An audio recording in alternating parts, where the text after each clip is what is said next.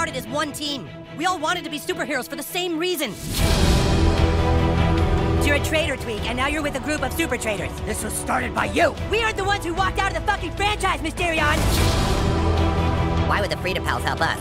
We send a spy, someone in our group who pretends to want to switch sides and join Freedom Pals. Somebody who they don't know very well. In love and war, Freedom pussy. You fucking animal. You've got problems, new kid. Whatever you did last night got a lot of people's attention. Bad people. If you need information, just know you can rely on Call Girl. Who the fuck is that? So I guess now any fucking asshole thinks they can be a superhero. We're gonna rip you apart. Dude, Mysterion is pissed at you, new kid.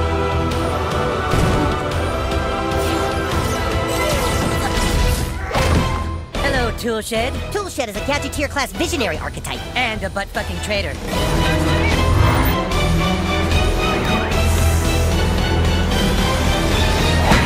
Eric, you must listen to me. Get out of my head, Timmy. Your franchise is going nowhere.